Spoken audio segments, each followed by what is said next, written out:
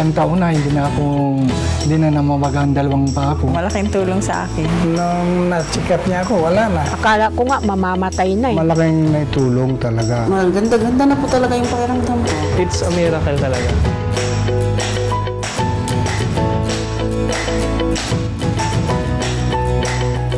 Walang gamot ang kamatayan, may lunas ang karamdaman, King Herbal Food Supplement. Dito ka, tatagal.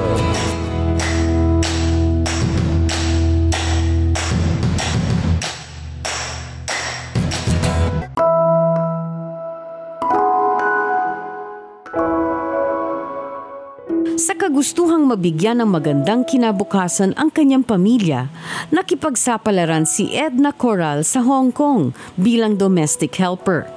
Pero ang hangarin niyang ito ang naging sanhi ng kanyang pagkakasakit. Sa halip siya ang sumuporta sa pangangailangan ng pamilya, siya ngayon ang laging unang isinasaalang-alang nila. Ang kanyang kwento ng pag-asa? Panoorin. Ako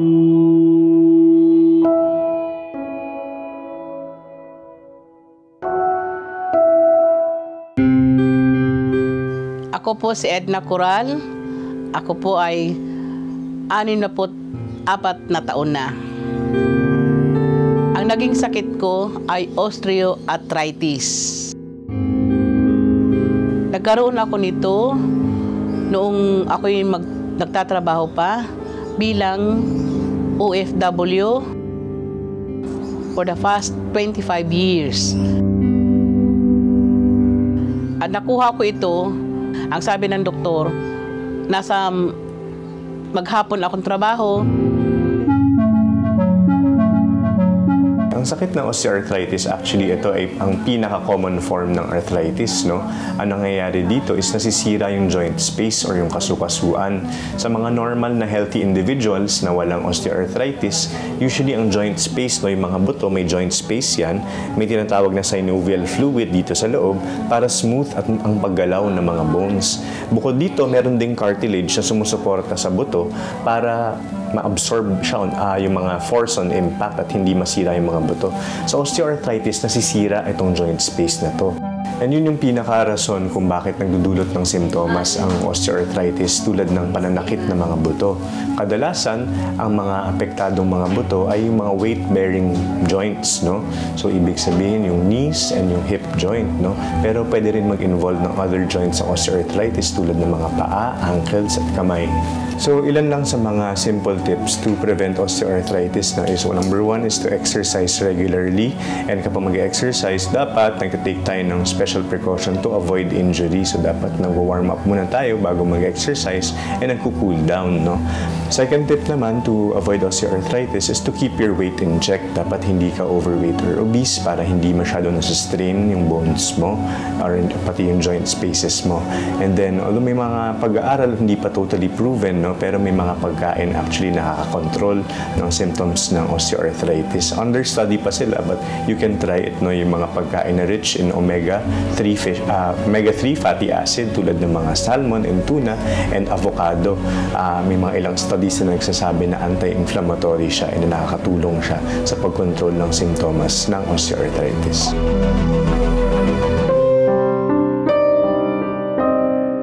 Nagkaroon ako ng arthritis siguro nitong nung nakarang 2007 at naoperahan ako ng 2008 itong isang tuhod ko and then the other one is 2009. Ang nararamdaman kong sakit na ito ay ang pananakit ng tuhod ko. Umiiyak talaga ako. Alam ng husband ko yun dahil napakasakit nung narito na, nung nauwi na ako, talagang naranasan kong napakasakit. Kaya nga, ang sabi sa akin ng doktor sa Hong Kong, kung hindi talaga maoperahan, ay talagang mananatili ito sa tuhod ko na habang buhay kong dadalhin. So, wala, hindi ako nagpapadili-dili. Talagang nagpapa-opera na ako doon sa Hong Kong. Ang mga gamot ko, yung collagen, ay um, dalawang beses sa morning at isa din sa gabi, nung uminom ako ng gamot na yun, ay talagang mayroong improvement. malaking ah, kaginhawaan na, na naidulot sa akin, katawan. Hanggang ngayon, nagpapatuloy pa rin ako. Dahil yun ay maintenance ko na rin sa habang buhay. Yun ang sabi sa akin ng doktor. Nag-start ako nung uminom ng King Herbal nung mga February. Nalaman ko itong King Herbal na ito nang dahil sa panunood ko sa TV. One day, unti-unti siyang nag-open.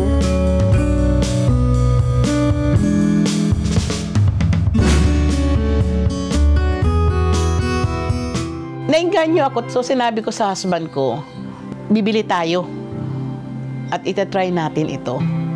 Sabi niya, sige, why not? After nung ako'y ah, naka, nakainom ng King's Herbal, yung mga dating hindi ko nagagawa, ay nagagawa ako na sa ngayon paunti-unti.